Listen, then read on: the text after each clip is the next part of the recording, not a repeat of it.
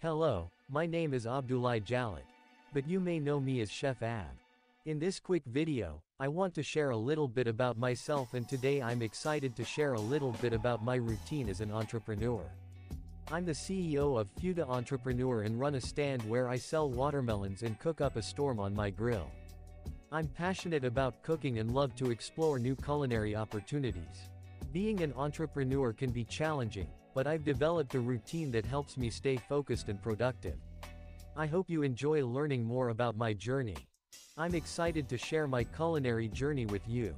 I've been working hard since graduating from culinary school, and I've had the opportunity to work in many different restaurants in France, from bistros to gastronomy.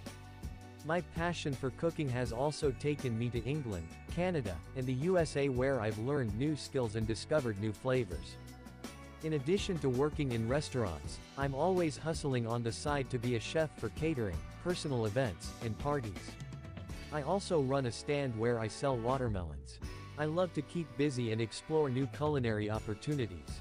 Thank you for taking the time to learn more about my journey as an entrepreneur. Your support means the world to me, and I'm grateful for every opportunity I have to share my love of cooking and fresh fruits with others. If you're interested in learning more about my recipes, some of my books are available on Amazon. Thank you again, and I look forward to sharing more with you soon.